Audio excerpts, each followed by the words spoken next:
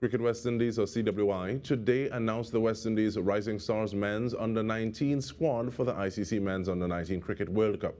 The 15th edition of the tournament will be played in South Africa from 19th January to 11th February 2024. Top order batter Stephan Pascal has been named as captain, with Nathan Sealy, the slow bowling all-rounder, as vice-captain.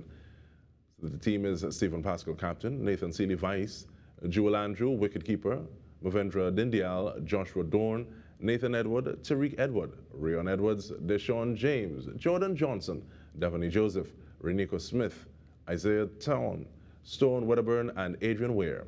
Rohan Nurse will serve as head coach.